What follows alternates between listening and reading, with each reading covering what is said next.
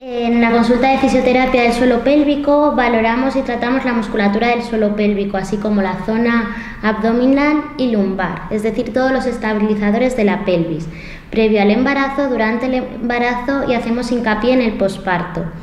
donde trabajamos toda la musculatura para fortalecer, para reeducar la postura, para que seáis otra vez conscientes de cómo se realiza una contracción del suelo pélvico, ya que sobre todo durante el parto toda esa musculatura se ve muy afectada. También trabajamos en edades avanzadas para prevenir la incontinencia urinaria, los prolapsos y muy importante el dolor pélvico que pueda haber.